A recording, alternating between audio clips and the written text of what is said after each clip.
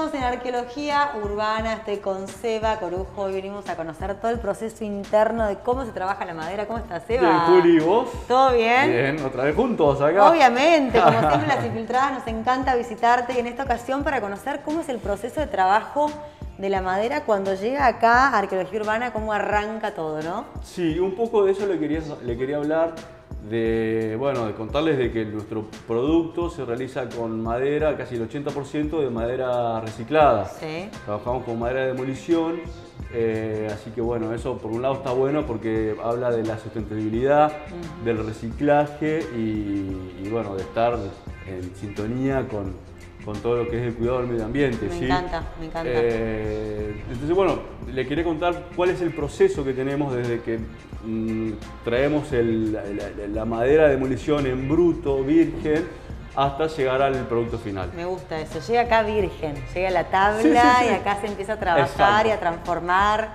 Eso es maravilloso. Así que bueno, les quería mostrar un poco algunas imágenes de cómo lo trabajamos desde, que, desde, desde- desde el comienzo hasta el final.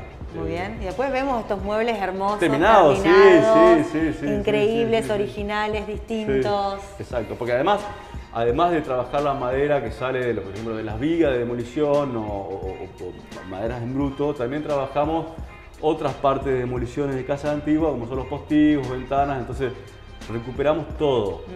Hasta- hasta No se desperdicia nada. Nada, nada, nada. Hasta usamos algunas bisagras antiguas, que es increíble porque tienen eh, hasta ese toque en la terminación, ese óxido original que no lo podemos lograr con una bisagra nueva. Claro. Son pequeños detalles que hacen al conjunto del Me mueble. encanta. Y cada mueble Eh, después tiene su historia también. Sí, Eso también además, está sí, buenísimo, sí, ¿no? Esa madera que vino, eso está buenísimo también, me encanta. sí, sí, sí. Bueno, Seba, y dependiendo de cada madera, me imagino que debe ser también del el, el trabajo que se lleva a cabo, ¿no?